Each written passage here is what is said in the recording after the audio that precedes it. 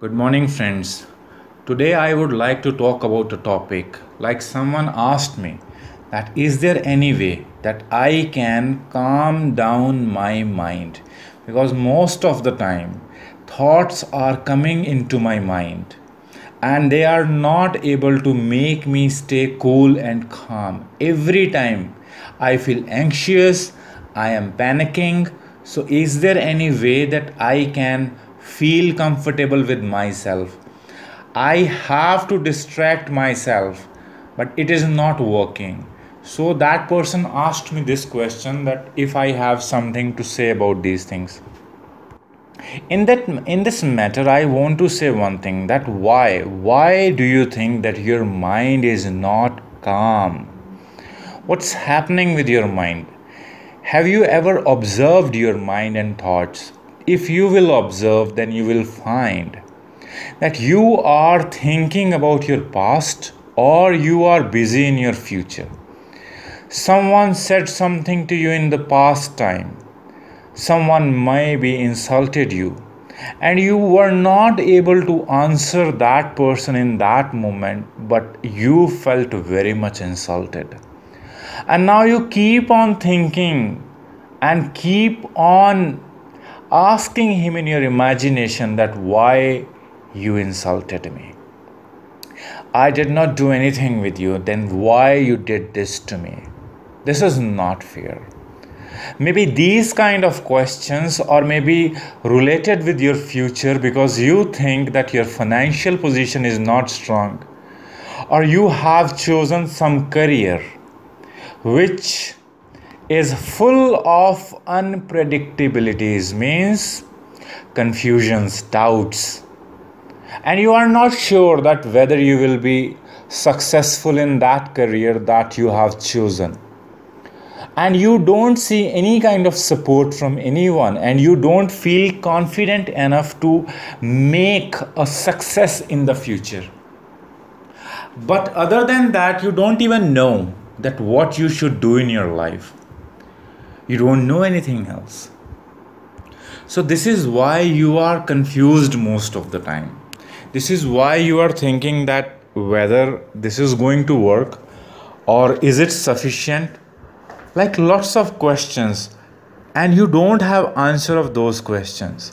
So you keep on repeating these questions in your mind.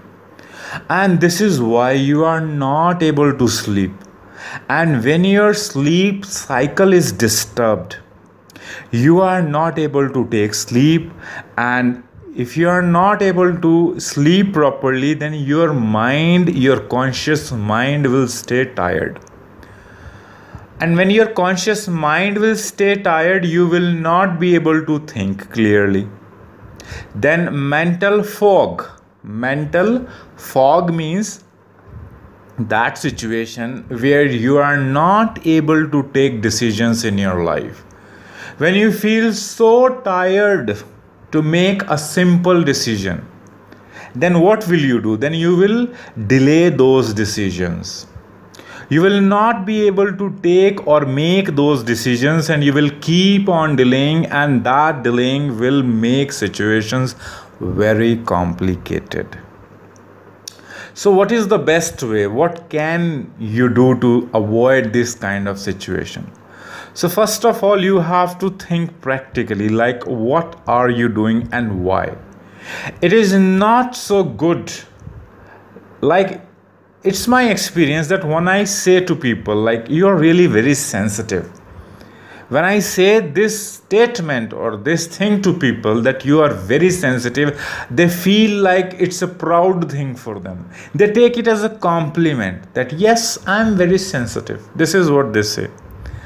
But you don't have to be very sensitive, you have to become strong.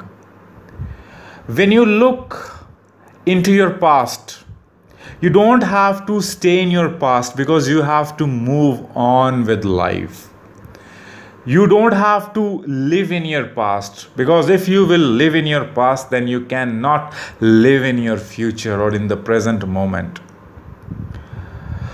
What you need to do is that you have to understand that your past is gone and you cannot do anything except learning from your mistakes. Once you will learn from that mistake then you make sure then you you have made sure that you are not going to repeat this mistake and you have evolved yourself from an immature person to mature person. I'm not saying that just one mistake will make you a completely mature person. No. But yes, this is a tiny step towards the maturity. Small steps towards maturity. So, whatever happened, forgive. Forgiveness is the most important thing that you have to learn in your life that you have to forgive people before or without them asking for sorry for forgiveness means if someone did something to you don't think that I will take revenge. This revenge will be very costly to you more than that person because you have to make yourself feel uncomfortable to take revenge. If you will forgive that person and learn from that experience, then you will see that your personality has evolved. So, forgiveness without even asking. If someone is not even saying sorry and you can forgive that person, then trust me, you have become a very mature person.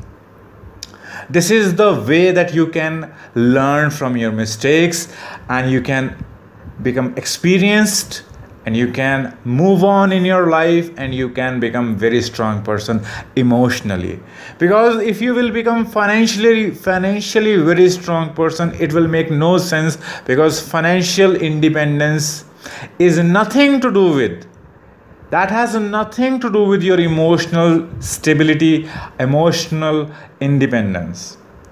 And the real happiness lies in the emotions. If you think that you will become rich and you will be happy, then you are wrong. No. But if you will become emotionally strong, then you will become the real happy person. And same thing about future. Don't think about future a lot. Think about it wisely. Think about it that what you need to do. If this situation will come then what you have to do. Do you have some plans?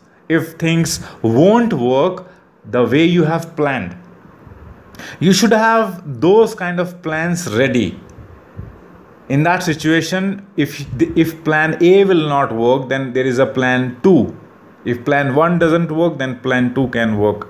So things like this. But you don't have to stay lost in future or in past. You have to think wisely. And you have to practice also that not talking a lot in your mind because this talking is also a habit. So you have to work on this habit and what you can do just focus on your breathing whenever you think that you are getting carried away by these emotions of the past or future, just calm down and start focusing on your breath.